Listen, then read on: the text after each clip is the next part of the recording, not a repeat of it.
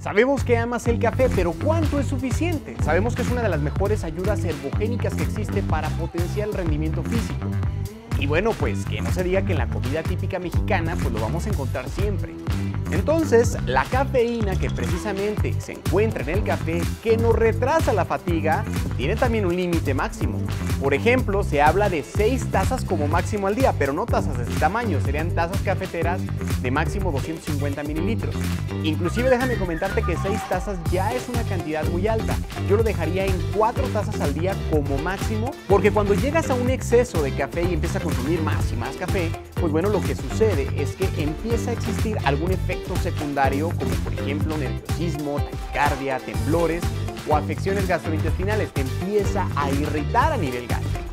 Entonces, todo con medida realmente con cuatro tazas al día es más que suficiente para los amantes del buen café.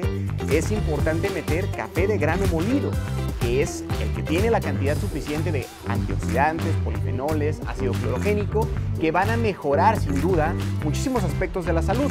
Sin embargo, recuerda, más de cuatro tazas ya tendría diferentes afecciones a nivel de gastritis, a nivel también justamente de deshidratación y sobre todo también te puede provocar una arritmia, una taquicardia o nerviosismo. Entonces toma café, es una excelente bebida, de hecho prehispánica, sin embargo, todo con medida. Cárgate de energía, toma café y no te oxides en veneno.